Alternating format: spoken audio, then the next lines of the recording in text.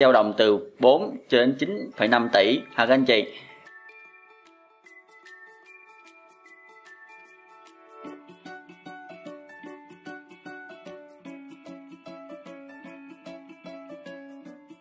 Để biết thêm thông tin chi tiết về sản phẩm cũng như là có nên đầu tư vào sản phẩm này hay không, anh chị hãy liên hệ ngay cho em nha. Cảm ơn anh chị đã theo dõi video này.